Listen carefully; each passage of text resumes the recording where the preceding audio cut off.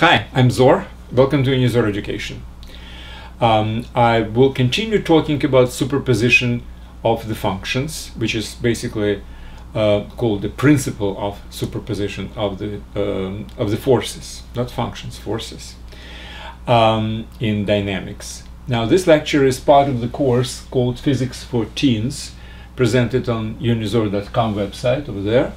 I do suggest you to watch this lecture from the website rather than from, let's say, YouTube or some other um, uh, source because um, every lecture has very detailed notes and also the website has certain educational functionality. Like for instance if you are working with a supervisor or a parent they can actually enroll you into a particular part of the whole course or the whole course whatever and um, they can take a look at the exams which you can really take. There are exams in the course. Um, now also there is a um, prerequisite to physics for teens. It's called math for teens uh, on the same site. And there is even another course which is a civics course US law for teens. Um, now the website is free no advertisement so I do suggest you to take a look at this so now back to uh, principle of superposition of forces. So we know that if you have more than one force acting on an object, then we can always replace the result of acting um, of these forces, results of the action by vector sum of these two forces. Now, obviously, these forces are um, collinear, they are acting in the same direction, then the absolute value of the result will be the sum um, of these two forces. That's the easiest uh, part. In more complicated cases, we can always, as I was saying, um, replace the action of two forces with one being their um, vector sum. Now, well, from this obviously we can extrapolate to n forces by, again, combining them together according to the rules of vector algebra. Now, there is one very important consequence from this. Not only we can add two forces together to get their resultant, um, resultant. That's the name of the resulting force, resultant. So not only you can combine these two forces into one, you can always, if it's convenient for some reason, you can always represent one force, if there is some one force uh, acting on, on, on, on the object, as a sum of two or even more uh, forces which if combined together give our force. So instead of these two I can put their sum or instead of this one I can put these two forces.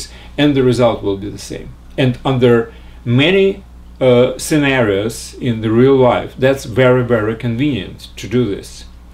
Now what I'm going to do is I'm going to present a couple of examples which really show how this particular approach of um, representing uh, one force as the combination of two really helps us to, to solve certain problems.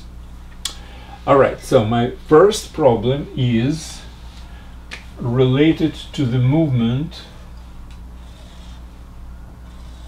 on the slope. So there is a slope phi uh, no friction, there is an object. Now, my um, purpose right now is um, how basically uh, to tell how this object moves on on this slope uh, under whatever the conditions I have and what kind of conditions I have. Well, first of all, there is a force uh, which pulls down this particular object. That's its weight. So the weight goes down. let's call it W. Now, is that the only force which acts on this particular object? Well, obviously not. Because if that was the only force, it will just drop through the slope down. So there are some other forces which uh, keeps the object on the slope. And obviously this, the object will slide down the slope. Well, we all know this from, uh, from the children's playground, for instance, they have a slope. The, um, a child sits on the top and then it goes down the slope. Why? I mean, obviously, the force which gravitates down to Earth, its weight, obviously, it's play, it, it plays the important role. But again, it should be something else. So, what other forces are acting on this object which result in its moving along the slope? Well, obviously, there is something which we call a reaction force. Now, whenever somebody is or something sits on a slope, we also have the pressure which uh, this particular object um, makes on the uh, on the surface where it's supposed to, to, to slide down. So there is this direction which is always perpendicular to the surface. And along this direction I have the force which this object acts on this particular uh, surface of the slope. Okay, but this is the force which acts on the slope itself. And slope is fixed on the on the ground, so it's not moving obviously. Now, this force is not the force which acts on the object. So which force is acting on the object? Well, obviously reaction force. You know the third law, Newton's third law. Whatever the pressure the object exerts on the slope, the slope goes back with the same force. Okay, fine. So we know this. The problem is we really don't know the value of this force. But now let's think about it this way. We know that the object will move downhill. So this is direction the object will move. Now, we know that there are two forces, this one and this one, the weight and the force which we can call reaction force. Now, the combination of these two forces obviously is the force which goes um, down the slope in this particular direction. So, we know that this force goes vertically down and we know its magnitude and direction. We know this force goes perpendicularly to the slope and we know its direction. And we also know the direction of the resulting force. This is direction, the resulting force. So sum of this and this should go down this way. Now, how do we actually make the combination of two forces in this particular case? Well, from this point, I have to put the line. We have to build a parallelogram, right? So how to build a par parallelogram if you basically know the side, you know this angle, so you have this direction, and you know the diagonal where the result's supposed to be. Well, obviously, parallel parallelogram should be built this way. I um, draw a line parallel to this one, and from this point, I draw a line parallel to this one, right? So that's my force, WR, which is the reaction force. And this is my force, which I can call WF, force which pushes the for uh, pushes my object forward. That's how I built this uh, these two forces, this one and this one, in such a way that it makes the parallelogram. Because the parallelogram is the way how we add forces together. Now, if this force is shorter, I will not be able to build the uh, parallelogram in such a way that diagonal goes along this direction, right? So if I, for instance, do it from here, if this is where my uh, reaction force ends, and I will build the parallelogram, this would be my direction of the result, right? So that's wrong. Now, this is the only way. Okay, fine. So let me wipe it out, draw a nice picture, nicer picture, I will never be able to draw a nice picture. But anyway, here is the real thing. So this is my slope. This is my object. This is my real force. This is down. This is perpendicular. And this is my, for instance, this is my weight. So this is my forward and this is my reaction. So that's the real that's the real picture.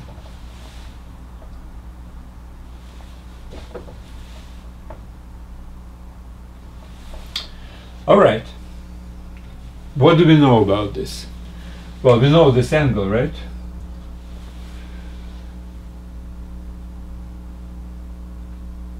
And which means this is the same angle phi, right?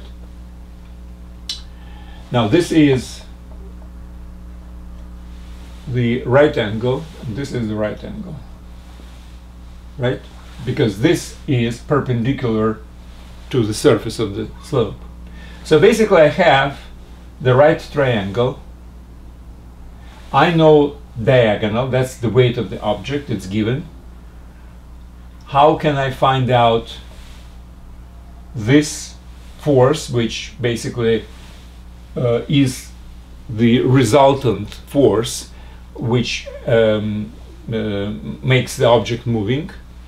So obviously WF, and I'm talking right now not as a vector, but as an absolute value, it's a magnitude of this vector, right? So if I don't put this um, overline above it, it's considered to be the magnitude of this particular vector.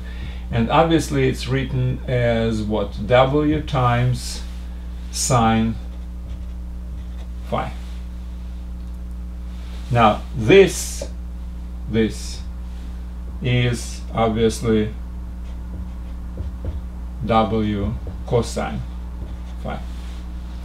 Now let's be um, a little bit negligent about frame of reference. I did not really mention what exactly the frame of reference is. So I'm talking about magnitude and I'm talking about this particular picture and this is basically sufficient to write the uh, equation of the motion because if I know the force then my equation of the motion is m times a equals to where m is the mass of the object a is the uh, acceleration down the slope. Now this is fixed right? Weight is fixed and uh, angle phi is fixed. So my force is constant which means my acceleration is also constant mass is constant. So this is equal to wf equals to w sine phi. So this is the most important part. Well a obviously from this is equal to now um, what's very important is, and I will definitely go through this when I will talk about gravitation, um, the connection between the weight and the mass on the surface of the earth of the earth. This ratio weight divided by mass is equal to 9.8 meter second square this is the acceleration of the free fall. So any object will fall with this acceleration because the gravity actually pulls down within certain obviously uh, precision because obviously if you go very far away to, to the space that would not be exactly the same. Even on earth if you go to the top of the mountain the acceleration will be different. This is on the ground. It's some kind of an average so and it's called usually g constant g, the gravitation constant. So this is equals to g times sine phi, where g is a known constant, okay? So it depends on the angle phi. Uh, what's interesting is, let's just do some kind of analysis. If the phi is equal to zero, which means slope is actually flat. Well, if the, flow, if the slope is flat, my weight goes down, my reaction force goes up, and there is nothing which moves down the slope. And obviously this gives us, if phi is equal to zero, then this is equal to zero. There is no acceleration along this slope. On the other hand, if my phi is uh, steeper and steeper, if it's 90 degree, then basically this particular uh, object doesn't really press. You see, if the slope is 90 degree, the object on it doesn't really press. Everything goes down. So the whole force of weight and the whole acceleration uh, would, would, would go to um, uh, because sine of 90 degrees is equal to 1 so it will go to complete g. So acceleration will be down as if it's a free falling because the slope doesn't really um, resist the movement. It's vertical right? Well that's it. That's it about this particular problem and we will continue with the next problem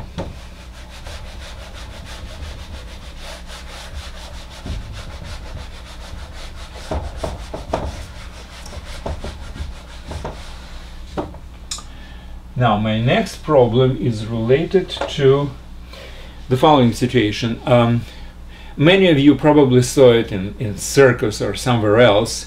It's some kind of a trick. You have a motorcycle which goes into the loop and then it goes very fast around the loop. So I would like to examine how this particular thing is, is working depending on the initial speed. Well, considering it's a constant speed, so v is the speed, constant speed, as it goes along the circle. So it's basically a linear speed of the motorcycle as it goes. Now, obviously, if the radius is equal to r, uh, this is equal to r omega, where omega is angular speed how many radians per second it makes, right? The angle. Okay, so this is given, but based on this number, we have to really make all these calculations, but not everywhere. I'm talking only about two points, at the very top and the very bottom. But I'm mostly interested in what kind of a pressure this particular motorcycle exerts on, on the loop at this point and on this point. Now, intuitively, seems obvious, but as it goes down this way, it's kind of pressing down and the pressure should be greater. When it goes up, the pressure should be smaller. It's like levitating a little bit, right? So let's just examine this using um, the principle of superposition of forces and our um, our representation of certain forces as a combination of two, uh, of two or more other forces. So let's talk about, for instance, the top of this. First of all, I would like actually to make a little bit more precise um, definition of the frame of reference. Let's consider that frame of reference is this. So this is the z, this is 0, and this is x. Okay? So we are talking about this particular point. Uh, now y coordinate is this way and it's zero, right? So we're not talking about y point. All right. So what can we say about the object, let's say of mass m and weight w, at this particular point? Well, let's examine the forces which are acting. Now, obviously, there is a force which is weight. Okay. By the way, if W is my absolute value of this particular force, the magnitude of this vector, the vector goes down against the z. So basically the vector is in vector mode, it's with a minus sign. So if I would like to combine whatever forces uh, I have using their absolute absolute value, I have to put them with some kind of a sign. Okay, now what else?